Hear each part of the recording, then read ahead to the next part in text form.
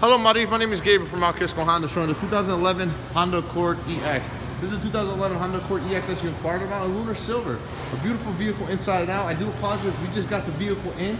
Hasn't been detailed, but as you can see, it was very well maintained, well maintained and well kept.